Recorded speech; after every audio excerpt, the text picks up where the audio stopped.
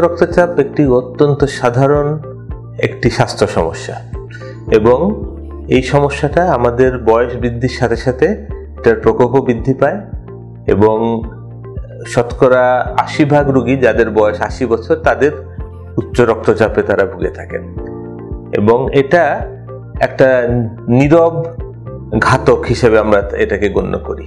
কারণ হলো যে এটা উচ্চ রক্তচাপের কারণে কোনো বিশেষ ধরনের কোনো শারীরিক অসুবিধা অনেক রুগী অনুভব করেন না। এবং শতকরা পঞ্চাশ ভাগ রুগী যাদের উচ্চ রক্তচাপ আছে, তারা জানেনও না যে তাদের উচ্চ রক্তচাপ আছে। তবে উচ্চ রক্তচাপের কারণে কিছু কিছু উপসর্গ হতে পারে, যেমন মাথায় ব্যথা, সাধারণত মাথার পিছন দিকে ঘাড়ে ব্যথা, মাথা ঝিমঝিম করা চোখের দৃষ্টিতে সমস্যা। কিছু কিছু ক্ষেত্রে দেখা যায় যে অনেক সময় বুকে ব্যথা হতে পারে, হাঁটাচলা করলে শ্বাসকষ্ট হতে পারে, শোয়ার পরে রাতের বেলা ঘুমের মধ্যে দম আটকাতে পারে। কোনো কোনো ক্ষেত্রে দেখা যায় যে প্রস্রাব কমে যেতে পারে, শরীর ফোলা, চোখের দৃষ্টিতে বিভ্রম, এই ধরনের কিছু কিছু সমস্যা। হতে হবে তবে কোনোটাই কোনো উপসর্গ এই উচ্চ রক্তচাপের সাথে সরাসরি সম্পৃক্ত এই কথা বলার তেমন কোনো সুযোগ নেই। শতকরা পঁচানব্বই ভাগ ক্ষেত্রে উচ্চ রক্তচাপের কোনো কারণ পাওয়া যায় না। তবে শতকরা পাঁচ ভাগ ক্ষেত্রে উচ্চ রক্তচাপের কারণ পাওয়া যায়, যেটাকে আমরা সেকেন্ডারি হাইপারটেনশন বলি। বাকিগুলোকে আমরা এসেন্সিয়াল হাইপারটেনশন হিসেবে গণ্য করি। তবে কিছু কিছু রিস্ক ফ্যাক্টর বা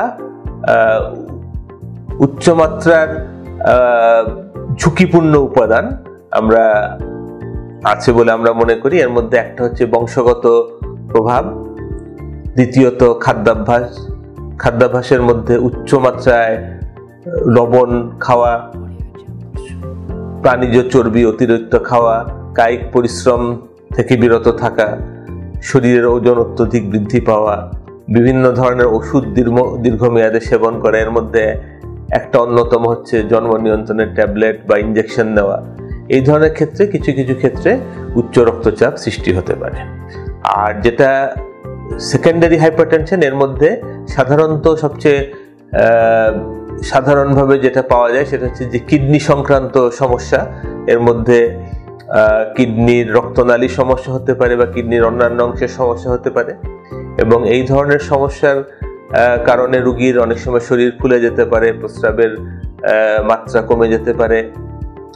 তারপরে খিদাবন্ধ মাথা ঝিমঝিম করা এই ধরনের সমস্যা হতে পারে। উচ্চ রক্তচাপের যেটা হলো যে যেটা নির্ণয় করা, সেটা উচ্চ রক্তচাপ যেটা আমরা সাধারণ ব্লাড প্রেশার মেশিনের মাধ্যমে এটা হয়ে থাকে। ব্লাড প্রেশার মেশিন আমরা জানি যে দুই ধরনের আছে। একটা ডিজিটাল মেশিন যেটা আজকালকার দিনে বেশি ব্যবহার হচ্ছে। আর একটা হচ্ছে আমাদের ম্যানুয়াল ম্যানুয়ালের মধ্যে দুই ধরনের মেশিন আছে। একটাকে আমরা বলি অ্যানারয়েড মেশিন যেটা একটা ঘড়ির কাটার মতো একটা মেশিন থাকে। আরেকটা হচ্ছে মার্কারি মেশিন যেটা খুবই নির্ভরযোগ্য। তো আমরা আজকাল বেশিরভাগ ডিজিটাল মেশিনে মাপা হয়ে থাকে, তবে ডিজিটাল মেশিনের মধ্যে দুই ধরনের মেশিন আছে, একটা কবজির উপরে লাগিয়ে মাপা হয়, আরেকটা হচ্ছে হাতের উপরের দিকে লাগিয়ে মাপা হয়। তো কবজির উপরে যে মেশিনগুলো লাগিয়ে মাপা হয়, এগুলার আমার মনে হয় যে নির্ভরযোগ্যতা যথেষ্ট প্রশ্নবিদ্ধ। এই জন্য যদি অ্যানারয়েড মেশিন ব্যবহার করতেই হয়, তাহলে হাতের উপরিভাগে যে মেশিনটা বাঁধা হয়, সেটাই ব্যবহার করা দরকার এবং খেয়াল রাখা উচিত যে উচ্চ রক্তচাপ নেবার সময় যাতে কোনো হাতে বা মেশিনে কোনো ধরনের নাড়াচাড়া যাতে না হয়। এক্ষেত্রে একটা ভুল রেজাল্ট আমরা পেয়ে যেতে পারি। উচ্চ রক্তচাপের নির্ণয় করার পরে সব রোগীরই যে ওষুধের প্রয়োজন হয় তা না। কিছু কিছু ক্ষেত্রে দেখা যায় যে আমাদের জীবন আচরণ পরিবর্তন করলেই অনেক ক্ষেত্রে দেখা যায় যে উচ্চ রক্তচাপ স্বাভাবিক হয়ে যায়।